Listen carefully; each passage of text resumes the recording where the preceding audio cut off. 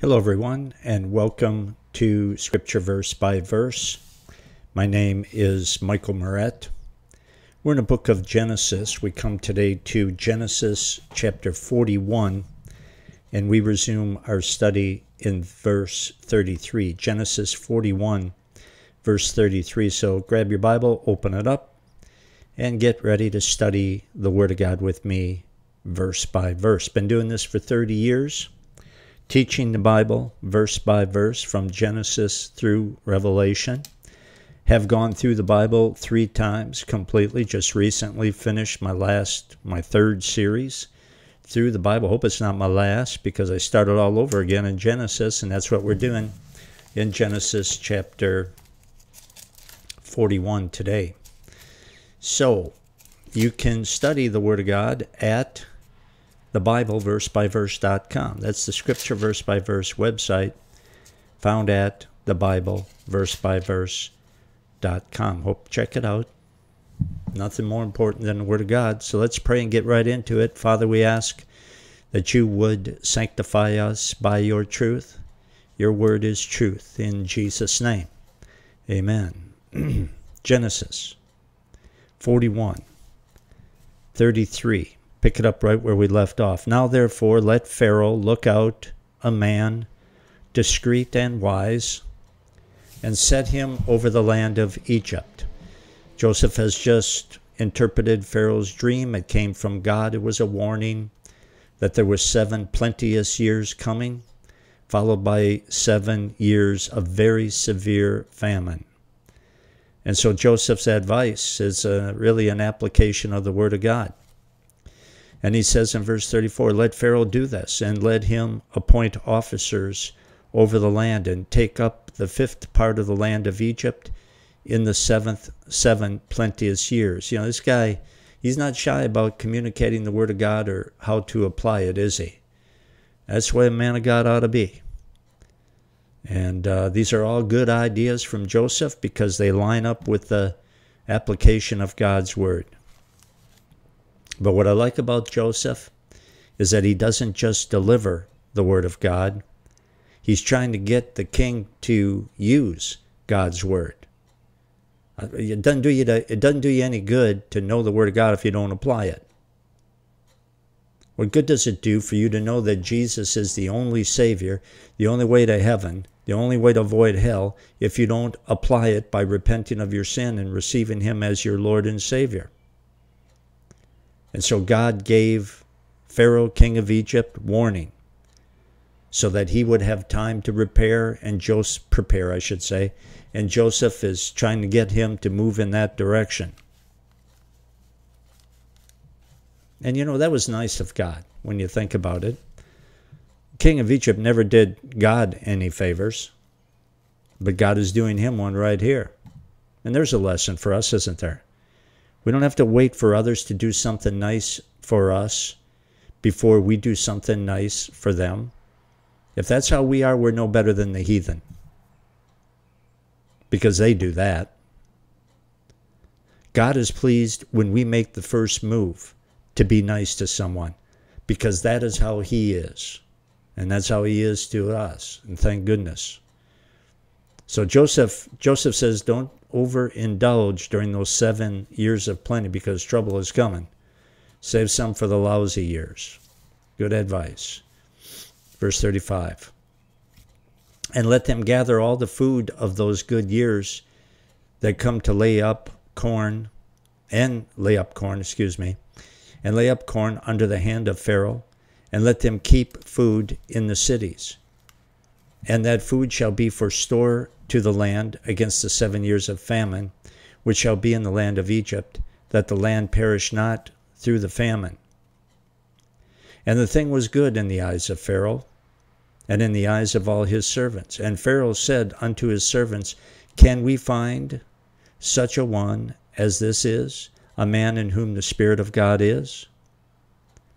And Pharaoh said unto Joseph, Forasmuch as God hath shewed thee all this, there is none so discreet and wise as thou art. The king notices the connection between Joseph's relationship with God and how it affects his character, his wisdom, and his behavior. And if it does, if your relationship, so called, doesn't affect your character, your wisdom, and your behavior, you have no relationship with God. You have no relationship with God. Because faith without works is dead. Verse 40 Thou shalt be over my house, and according unto thy word shall all my people be ruled. Only in the throne will I be greater than thou. He just gave Joseph the authority to institute executive orders. You know what that is? The, if, if you're listening to this in America, the President of the United States, or if you're not listening to it, it doesn't matter. The President of the United States can issue executive orders. In other words, there are certain things that he can do without even the approval of Congress. All he needs is his signature. And that's the type of authority that Pharaoh just gave to Joseph. What a change! What an amazing change. I mean, I'm talking about from one day to another in the life of Joseph. And, you know, it goes right along with that phrase that we see quite often in Scripture and suddenly. And suddenly. It sure does apply here. One minute, Joseph is a slave in prison. And the next minute, he's the second most powerful person in Egypt. You could say the second most powerful person in the entire world. And what made the difference? Did he change his behavior? No. He was always consistently a man of God. It wasn't anything that Joseph did. What made the difference then? Well, God's timing made all the difference in the world. That's it. It was God's timing. It was God's time to use Joseph in a different way. God's timing always makes the difference. 41. And Pharaoh said unto Joseph, See, I have set thee over all the land of Egypt. And Pharaoh took off his ring from his hand and put it on Joseph's hand. Now, that ring wasn't just for decoration, it was a signet ring. A signet ring was sort of like a rubber stamp with the king's signature.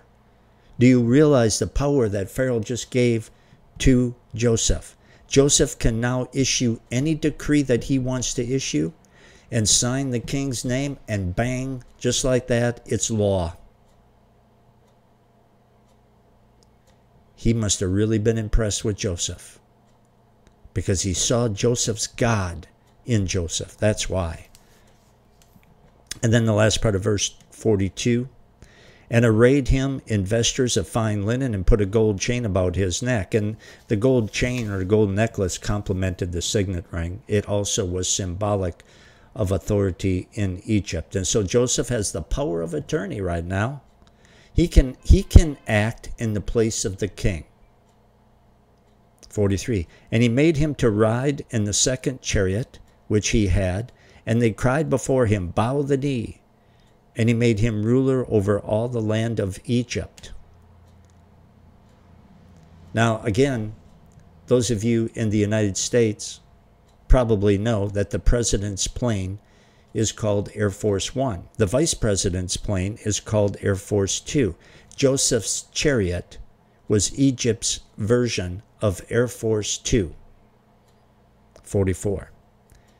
And Pharaoh said unto Joseph, I am Pharaoh, and without thee shall no man lift up his hand or foot in all the land of Egypt. In order, in other words, by order of the king, by order of Pharaoh himself, nothing of any importance relating to anything political or anything economic can be done by anyone in Egypt, anywhere in Egypt, unless it is first authorized by Joseph sweeping powers given to this man that the king barely knows, but he knows him pretty well.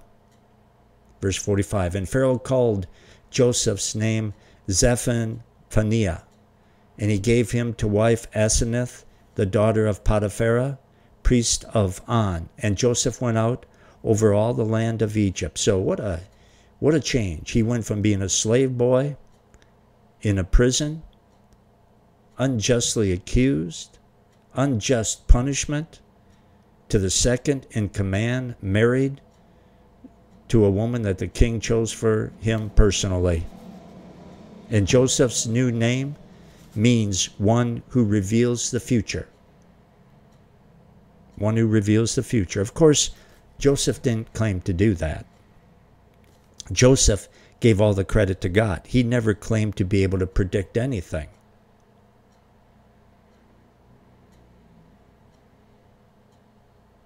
God simply used him to do what he did.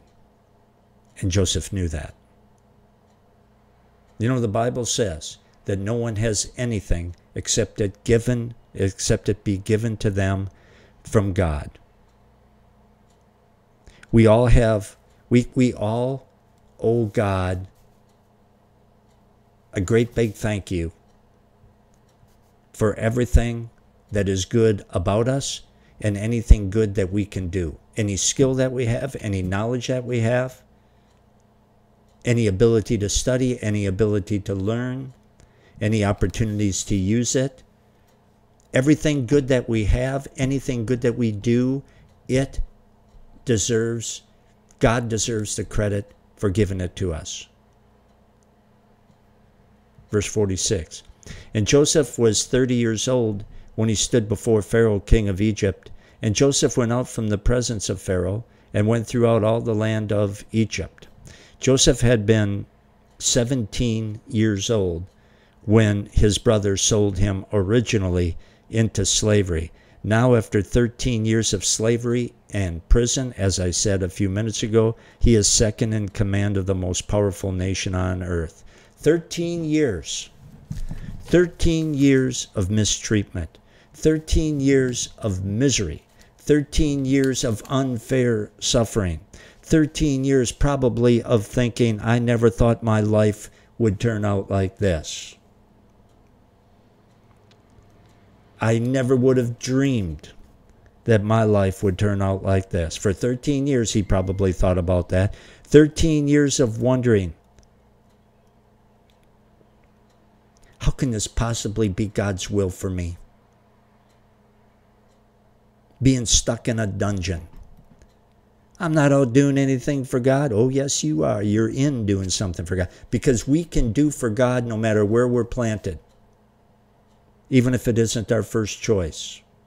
The maniac from Gadara, who Jesus drove out a legion of demons from, wanted to go with Jesus, begged to go with Jesus and the apostles when they left that area. But Jesus said, No, I want you to stay back here and you be a witness to the people in your city, your hometown. It wasn't his first choice, but he did it. Doesn't matter if it's our first choice or not. Wherever God has you right this second, Live for Jesus. Be on fire for Jesus. Do what you can for Jesus, starting right now, no matter where you are. And wherever you are later on today, do it there. And wherever you are tomorrow, do it there. You say, but things will never change. Yeah, that's probably what Joseph thought too. And suddenly, things changed a lot. And poor old Joseph, I got to tell you, 13 years of wondering, how can this possibly be God's will? 13 years of of, of everything except good.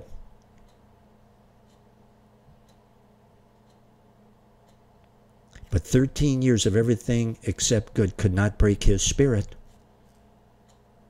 could not break his faith in God. He kept serving the Lord. He kept trusting God concerning the things that he didn't understand until he got his breakthrough. And you see it right here. Don't quit on God. Don't give up on God. Don't quit on Him. Hang in there with Jesus. Where are you going to go anyway? You going to turn your back on Jesus because you're not getting what you want?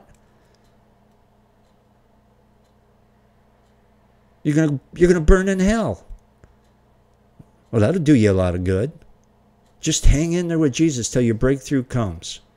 Verse 47.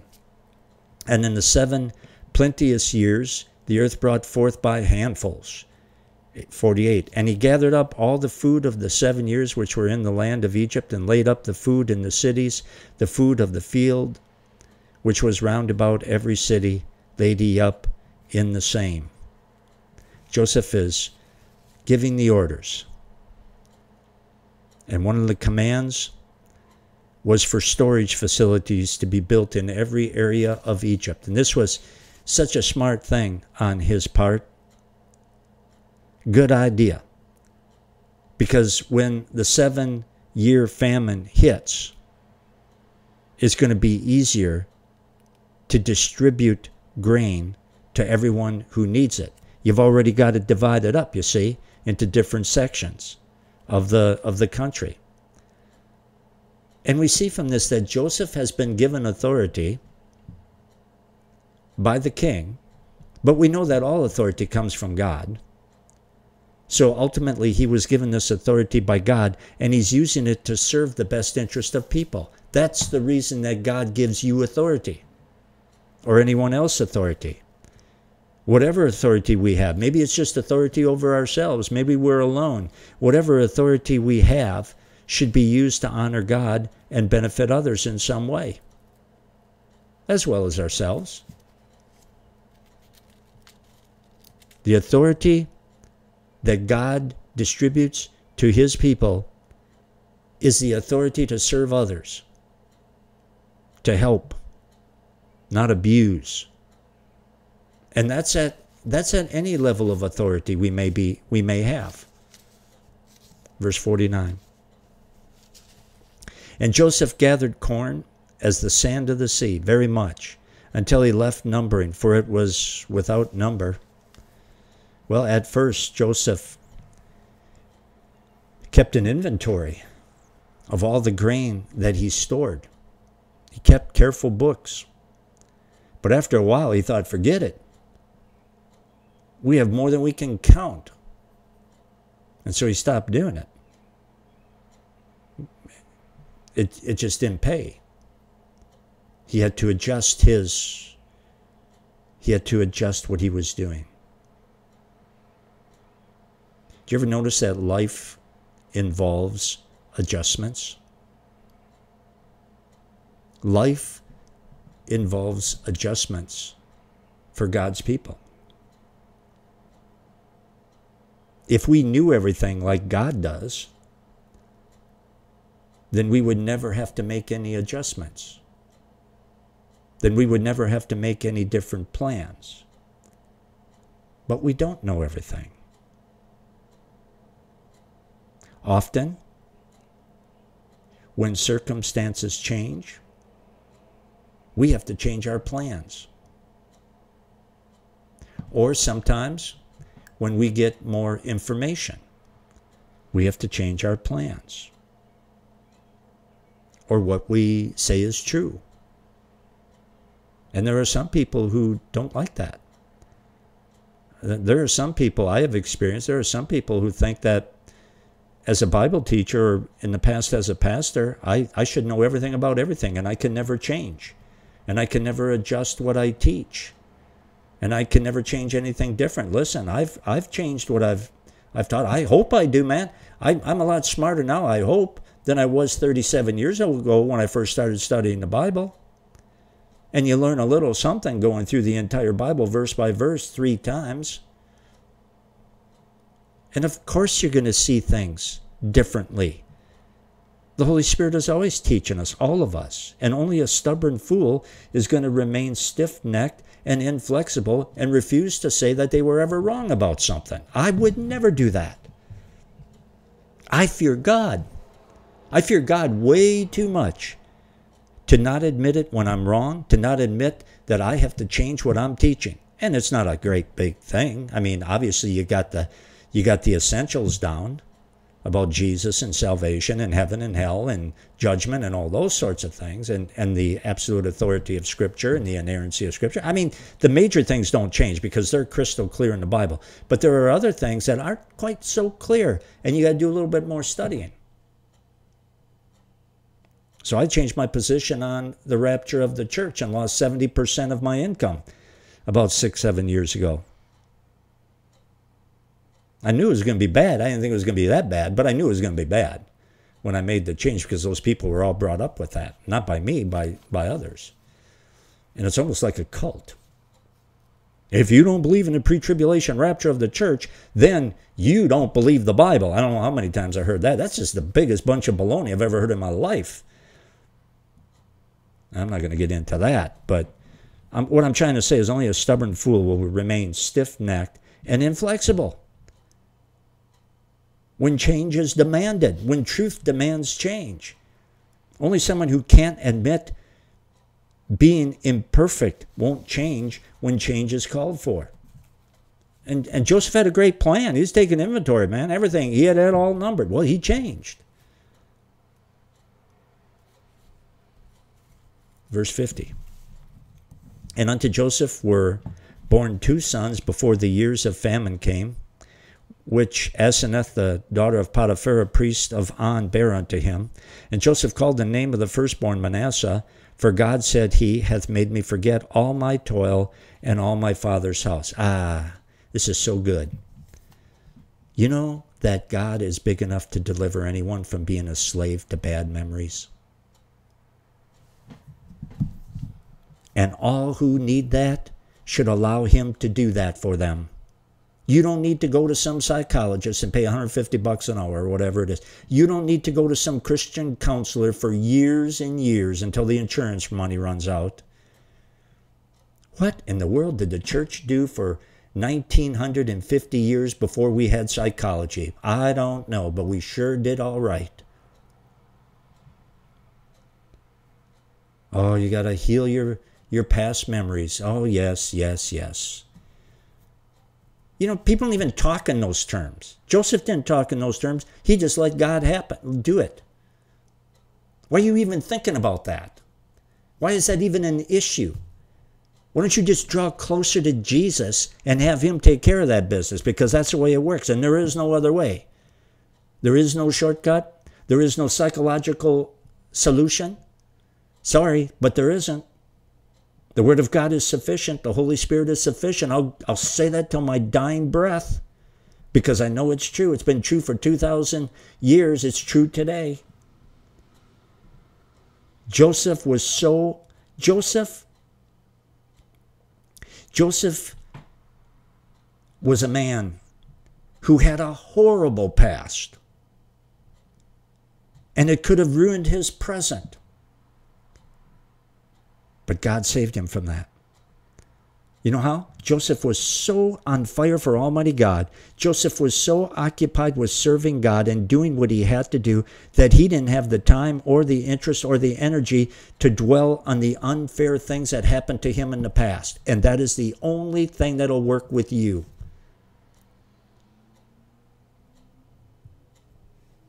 It's true. I don't care what it is. It's true. If it can't be solved by the Word of God and the power of the Holy Spirit, it can't be solved. The best way to avoid being a the only way to to avoid being a slave of the past and avoid the the bitterness that often accompanies it is to be full of God, full of the Word of God, prayed up and busy doing the things that need to be done right now, today. You say that's too simplistic. You're out of your mind. Anybody who says that's too simplistic, I'll come right back at them and say, you're into neo evangelicalism. You're into modern evangelicalism, not the Word of God. It is not simplistic. Simple? Oh, yeah, it's simple. But God's ways are simple. Like one guy says, God keeps the cookies on the lower shelf where the kids can get them. His ways are simple, but they are not simplistic. Verse 52 And the name of the second called he Ephraim, for God hath caused me to be fruitful in the land of my affliction. Thirteen years of bad resulted in God making Joseph fruitful. None of it was good. On a scale of 1 to 10, 10 being good, the previous 13 years had been a zero. It was all bad. But God brought good out of it, and Joseph is better because of it. When it comes to spiritual fruit, when it comes to spiritual character, like holiness and humility and patience, bad times are like fertilizer. But you must endure them by drawing closer to Jesus. Joseph had been filled with fertilizer. And right now, he's looking very good because of it. Verse 53. And the seven years of plenteousness that was in the land of Egypt were ended, and the seven years of dearth began to come, according as Joseph had said. And the dearth was in all the lands, but in all the land of Egypt there was bread. How about that? No crops were growing anywhere, including in Egypt, Syria, Arabia, Canaan, Palestine. Egypt, none of those places were producing crops, but Egypt had food because they had Joseph who had the Word of God, and the Word of God makes all the difference in the world. 55. And when all the land of Egypt was famished, the people cried to Pharaoh for bread. And Pharaoh said unto all the Egyptians, Go, go unto Joseph. What he saith you, do. What he saith to you, do. And this is where Joseph's walk with God will really start to pay off for the people. Right here. They were on the verge of starving. But if they listen to Joseph, who's following the word of God, they'll be okay. And that's that's the key to blessing. You know, when you have godly leadership at any level, leaders who are sold out to Jesus Christ and led by the word of God and aren't aren't aren't afraid to proclaim it in spite of risks to themselves. You got people who are willing to submit to the Word of God and honor godly leadership, plus you have godly leadership, you got a formula for blessing. And that's what's happening right here. 56. And the famine was over all the face of the earth, and Joseph opened all the storehouses and sold unto the Egyptians, and the famine waxed sore in the land of Egypt. And all countries came into Egypt to Joseph for to buy corn, because that the famine was so sore in all the lands. People traveled from all over the world, really, to get food from the only place that had it, and that was Egypt. And I doubt that anybody was fussy about what they were eating. They were happy to get grain. You know, isn't it true that when food is plentiful, Sometimes people complain if the meat's a little tough, you know, or, or the eggs are a little too hard, or, you know, maybe they have to eat the same old thing two days in a row. But when food is scarce, people are happy to get whatever they can. No one appreciates good more than the one who has had to live with bad. No one appreciates forgiveness through Jesus Christ like the one who understands that they are dead in their sins and hell bound without a Savior. Thank God for His Son, the Lord Jesus Christ, who sets us free from sin and from hell. What a lesson Joseph is for us, isn't he? He hung in there with Jesus. He hung in there with God. He hung in there with the Word of God. He clung to it, even when it didn't seem like it was going to ever come to pass. He did it. And boy, is he blessed now. And the hard times he went through because he kept seeking the Lord worked to make him a better person. Don't waste trouble by not causing it to draw you closer to Jesus. A lot of times people squander, they despise God's discipline by complaining about their trouble or by turning their back on Jesus or by looking for the human element in their trouble and focusing on that. Just forget it. It's there, it's God's chastisement. Draw closer to Jesus because of it, and you'll be better equipped to be used by Him now and in the future. And I'm out of time. You can study the Word of God further at the Scripture Verse by Verse website, which can be found at the BibleVerseByVerse.com. Check it out at the BibleVerseByVerse.com. Begin a verse by verse study from Genesis through Revelation, one verse at a time. All you have to do is click on the book you want to study, click on the chapter, open your Bible, follow along, and listen as I teach it verse by verse, just like I did today. Again, that's found at the Bible verse by verse.com. I do hope you check it out. I do hope you begin a verse by verse study of God's Word because there's nothing more important in all the world than the Word of God. And if the Word of God is a blessing to you, would you please keep in mind that I'm not underwritten by a large church or denomination. I've been doing this for over 30 years and it's always been a faith ministry. I've never received a regular salary. I've always just did what God wanted me to do the way He wanted me to do it, preach the Word of God as clearly as I can, and trust that those who are blessed, those who are hungry for the truth, although they're a remnant, I know they are, those that are hungry for the truth will help support this ministry. You can give in a secure method at the BibleVerseByVerse.com. Just click on the donate button at the top of the front page and give as the Lord may lead. lead. And please pray for this ministry. And please, whatever you do, study the Word of God. Stay in the Word. Stay in prayer. Until next time, Michael Meurett for Scripture Verse by Verse. So long, everyone.